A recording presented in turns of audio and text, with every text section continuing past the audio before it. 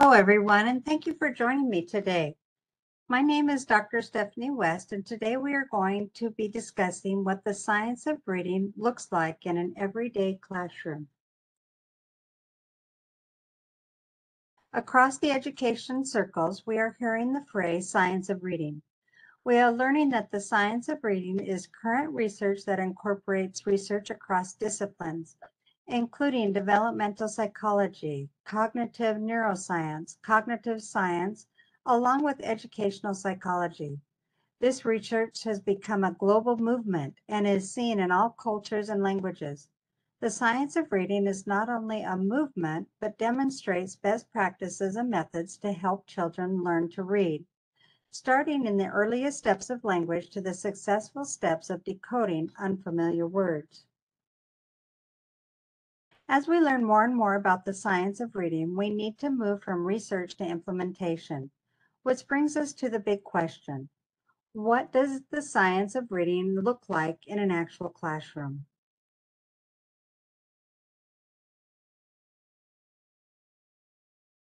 The research into science of reading has identified the following five components that are key to reading success. Phonemic awareness, phonics, vocabulary, comprehension, and fluency. So let's take a look at implementing these five components of reading. Historically, reading instruction was a step-by-step -step process along with incidental teaching moments or the aha moments. When implementing the science of reading instruction, we need to be more intentional and systematic. We need to focus our instruction on dedicated blocks of literacy blocks of time where phonics is taught clearly and sequential from identifiable curriculum.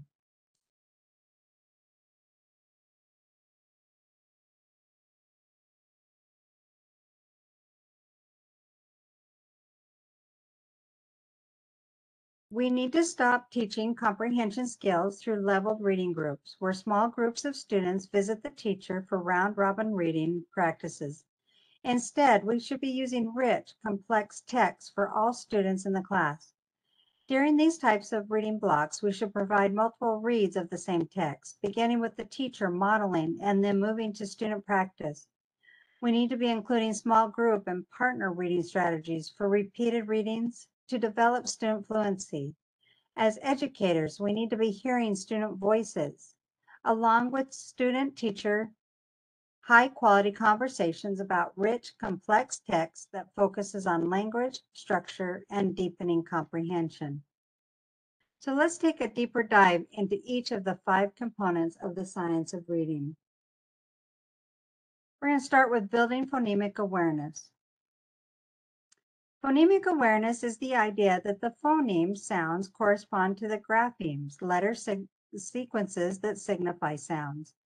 The goal of phonemic awareness, usually accomplished in grades kindergarten through first, is to teach students the skills needed for them to independently start to decode unfamiliar words, using the skills they have developed through the application of phonics instruction. The following activities can be easily implemented into your phonic awareness instruction. So guess the word. Lay out a few items or pictures in front of the students. Let the students know you will be using slow motion talk, meaning you will be announcing the names of the items in a funny voice. For example, if there's a picture of a cat, drag out the k, ah, sounds as long as you can. Their goal is to guess the name of the item or picture before you have finished saying the word. Mystery bag. Using plastic letter magnets and paper bags, place three letters that can be used to make easy to sound out words. For example, pat or cat. Have the students pull one letter out of the bag at a time, asking them to sound out each letter. For younger children, the teacher will give them the sound and the child will copy. Then have the students put the letters together to make words. So I spy with words. The teacher, the teacher says, I spy with my little eye something that starts with a ah sound.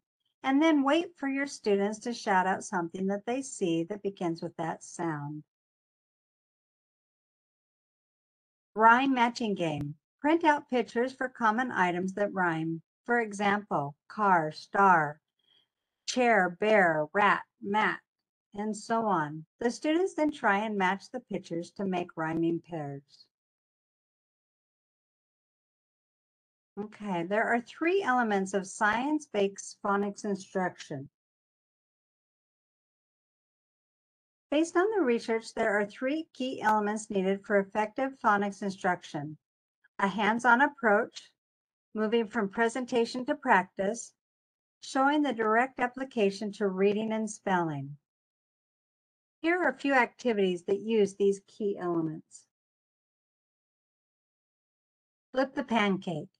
Using brown construction paper, cut out 8 to 10 circles and write the letters the class is working on. Grab a spatula and have the students take turns flipping over pancakes. Have the students say the letter and sounds written on the pancake. You can extend this activity and have the students make words out of the pancakes once they have all been flipped over.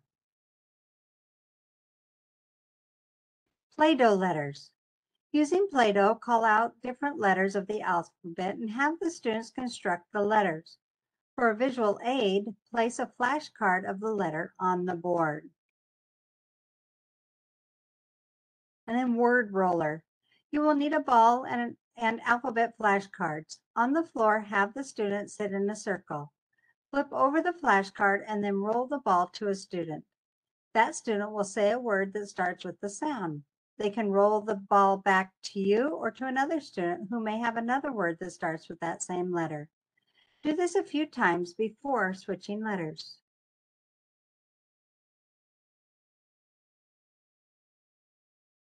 Vocabulary development is next. Vocabulary is the foundation of language development, along with playing a critical role in reading comprehension. Vocabulary is essential to the improvement of not only reading skills, but communication skills. Expanding students' vocabulary impacts their overall reading, writing, listening, and speaking skills. Here are some fun activities that can be included in any vocabulary instruction. Sketch notes. Rather than writing out definition, have the students draw a sketch that sums up each word. It's a lot more fun and gives student a visual which builds memory. A graffiti wall. Think of this as a collaborative word wall. Post the words that you're working on that week on the wall and have the student add their own words uh, or illustrations to it. You can also make this smaller and you can use sticky notes to add to, notes to the to illustrate the terms. These can be synonyms, antonyms, pictures, or even definitions. And then fill in the words from A to Z. Choose a word, then challenge students to come up with related words for as many letters in the alphabet as possible. These can be synonyms, antonyms, examples, and more. The next one is comprehension.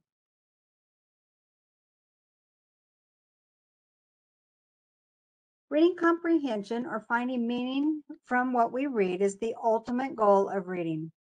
The process of comprehension is both interactive and strategic. Instead of passively reading text, students must analyze it, internalize it, and make it their own. To read with comprehension, developing readers need to read with some proficiency and then be explicitly instructed through comprehension strategies. The most important comprehension strategies that we teach extensively in most teaching preparation programs are using prior knowledge and previewing, predicting, identifying the main idea, and summarizing, questioning, making inferences, and visualizing. Here are a few other strategies that can be used to strengthen any general strategies in any comprehension instruction. Story maps. Students learn best when it is visual, and a story map brings in the visual component into their reading instruction. Story maps raise student awareness of the elements the author uses to construct the story. These maps can include setting, the, the characters, the plot, and the theme. Retelling. Asking students to retell a story in their own word forces them to analyze the content and determine what the main idea is along with what is most important within the story. Teachers can also take this one step further by having the students draw their own conclusions or even change the ending of the story. And again, sketch notes. This is a favorite among most teachers. Have the students draw out the story, including as many details as possible within their notes. This will allow students to not only use their creativity, but to visualize the story. And our last one is building reading fluency.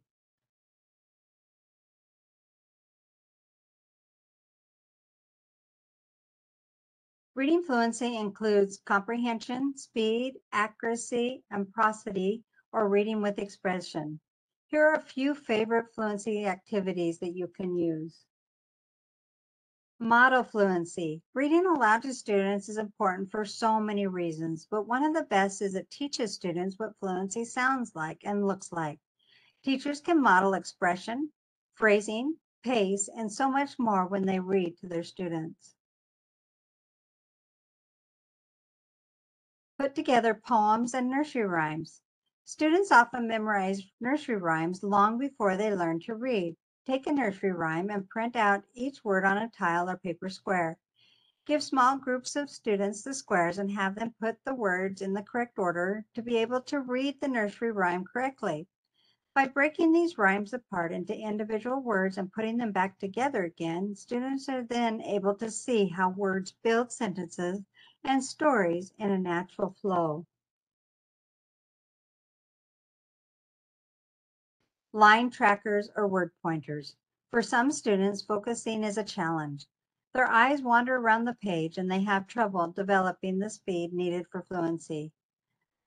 Use another piece of paper, preferably blue, which is a calming color, to help them focus on the line they're reading, or try pointing to the words one by one with these fun pointers.